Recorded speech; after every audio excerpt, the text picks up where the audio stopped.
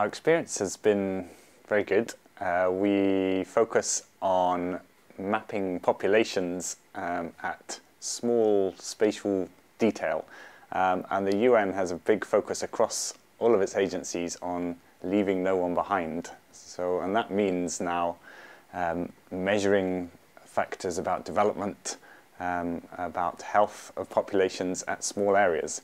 So they're very interested in approaches that can help to fill gaps and complement existing um, national statistics.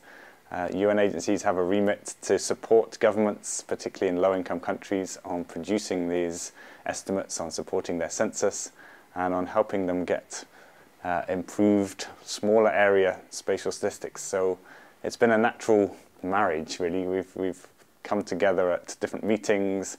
Um, we've developed our collaborations through, uh, through workshops together um, and through partnering with governments to support them.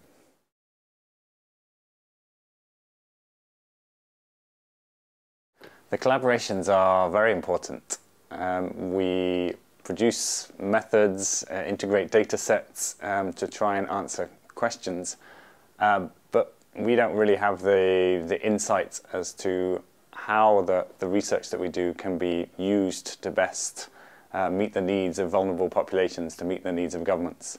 So the UN agencies have, have that remit, have that long experience, have in-country experience, and can help make connections, can help feedback information to us as to what would really be useful on focusing our research uh, and, and provide a, a, way of opening doors of, as a conduit to those governments themselves for, for us to be able to present to them and, and keep that discussion going.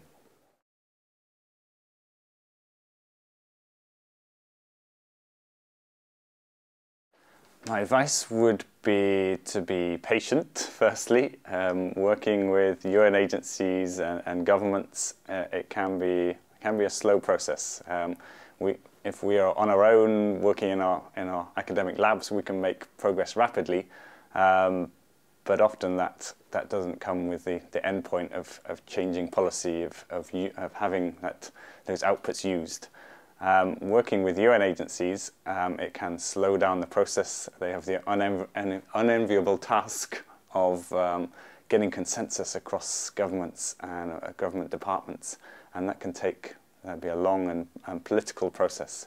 Um, but the end point is is very worth it in terms of seeing your research actually used and adopted by, by governments around the world.